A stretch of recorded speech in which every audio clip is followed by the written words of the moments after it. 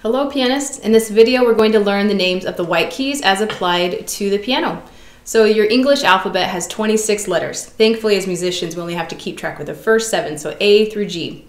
And it lays out beautifully on the piano because the bottom white note of your piano is letter A. So I'm going to use my left hand two finger. Still remember to have good body posture. I'm going to use my two finger, let the rest of my fingers stretch out around it. I'm going to say out loud my alphabet. So we have A,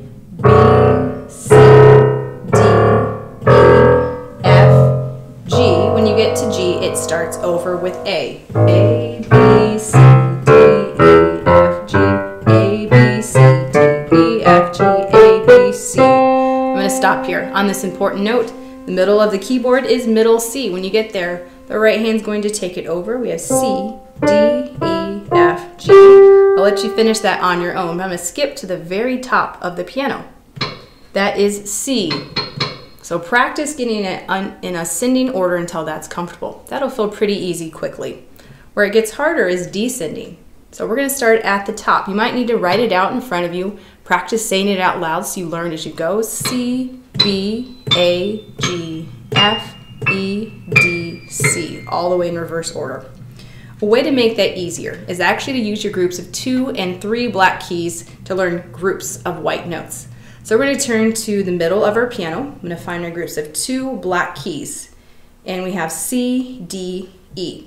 So for an older student, that's pretty easy just to remember C, D, E. If you're a younger student, it's easy to keep track of things if you make it kind of more playful and a story. So I tell my younger students, and you can use this if you're a kid at heart still, that this is the doghouse. These are the two walls of the doghouse for the two black keys, which we played before. So the white note in the middle is D for dog. So just practice finding all of your D's. When I get below middle C, the left hand will take over D, D, D. Say it out loud, it'll help you remember it better when you come back. So to the left, outside, lower is the cat. The cat is sitting outside. This is the cat, the C, so look for that key to the left of the two black keys. Notice my body just shifts left and right as I play. I'm playing, relaxing, and rolling off to that C. Okay, up high on top of the doghouse is E. E for eagle. So we have E to the right. Let's practice playing all of those notes in order.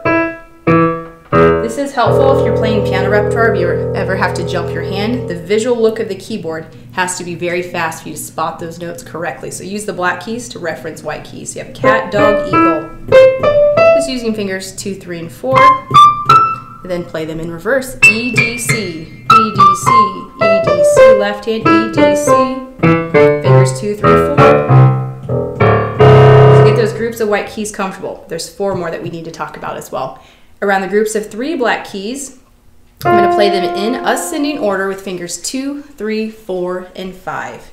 It will be F, G, A, B. And if you like those sayings, I say frogs gulp all bugs. Frogs gulp all bugs. F, G, A, B. F, G, A, B. Reverse it. B, A, G, F, Left hand, two, three, four, five, B, A, G, F. just to practice landing in the middle of those white notes as well, not getting to the side like you might have heard on one of my notes as well. Once you get your groups of white keys around the groups of three, practice playing them at random so you get used to that the F is the white key to the left of the three black keys, Fs. Go through the same process, B is the white key to the right. B's, G's and A's are in the middle. G is to the left. A is there towards the top right of those. G and A can sometimes be the trickiest to spot since they're in the middle of those groups of three black keys. But if you practice it, it gets faster every day. Have a friend or family member just quiz you on playing random white notes. There's also apps out there which you can just do note identification so that becomes faster. So in summary, get your music alphabet comfortable ascending and descending, because we'll have to learn our scales in a couple videos as well. Learn your groups of three white notes around the groups of two black keys, cat, dog, eagle. Frog, sculp, all bugs around the groups of three black keys, and have a friend help quiz you. Happy practicing.